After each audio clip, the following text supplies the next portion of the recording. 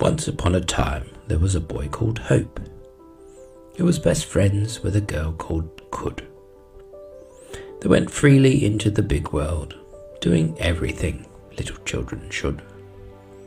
One day they met a new boy called Don't, who wouldn't join in any of their fun.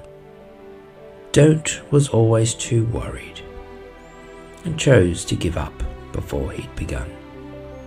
You see, don't first befriended fear, and with him came another friend, doubt.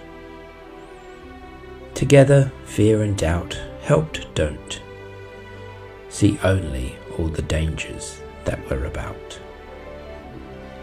When Hope and Could asked Don't to join them, he would always reply the same way I am just not brave like you and that's forever how I'll stay.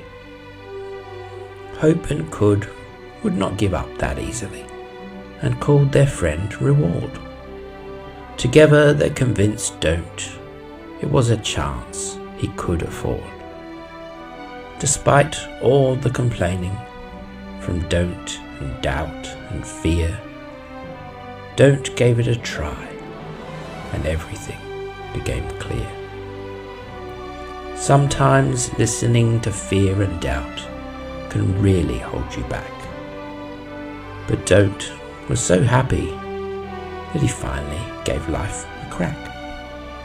Now, Don't earned the nickname Do, and although fear and doubt still hung around, when hope and opportunity came calling, the old Don't was nowhere to be found.